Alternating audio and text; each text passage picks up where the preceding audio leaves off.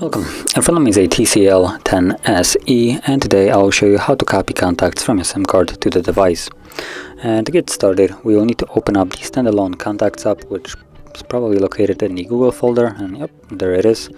So open that up and from here you want to tap on three dots, go to settings and here at the bottom you should see manage contacts and the option import.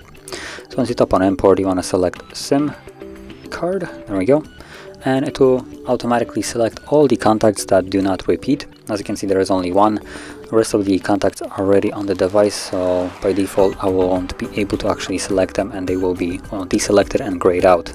As you can see contacts already exist on your list. Now if it wouldn't exist I would basically have the same thing as right here uh, with the key difference of all of them being then selected. But once you have deselected for instance contacts that you do not want, uh, all you need to do then, once you're satisfied with every contact that is selected, click on the checkbox and it will give you the number of contacts that have been imported and if you go back they will be right over here. And that is how you would import your contacts. And if you found this very helpful, don't forget to hit like, subscribe and thanks for watching.